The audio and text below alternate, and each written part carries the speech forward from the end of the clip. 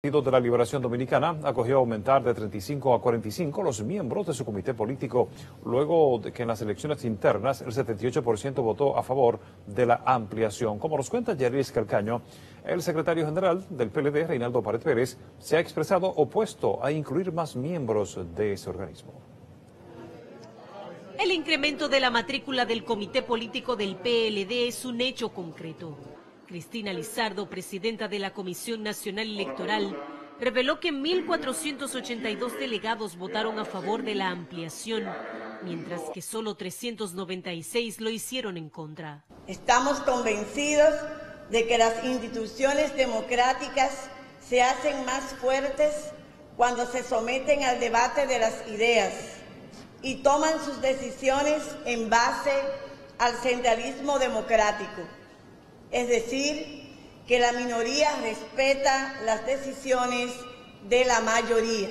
Antes de que esto se materializara, tanto Reinaldo Pared Pérez como José Tomás Pérez a través de Twitter se pronunciaron en contra por las dificultades que a su entender genera tener un órgano muy numeroso. Creo que sí, que se dificulta la, la operatividad de un organismo cuando tiene demasiadas personas. Ahora 45 todavía no es manejable, no es manejable. Lo que yo encuentro que va a ser muy manejable el Comité Central.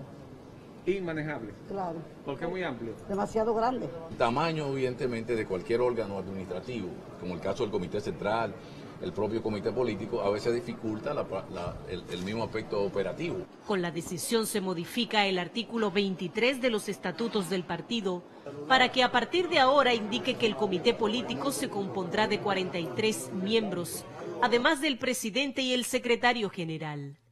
Para el próximo día 5 de marzo fue fijado el proceso de elección de los nuevos miembros del alto organismo. Todos debemos ser eh, ratificados o no ratificados, o sea que no, y no se van a someter planchas, sino lo que está previsto es que se sometan bajo un voto múltiple electrónico, que van a ser su derecho, los eh, mil y tantos miembros del Comité Central que tenemos.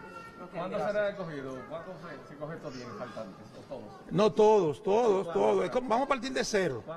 Según se informó en la plenaria virtual realizada, votaron 1.878 delegados de 2.667 que fueron convocados para una abstención del 29.58%. Yarilis Calcaño, CDN.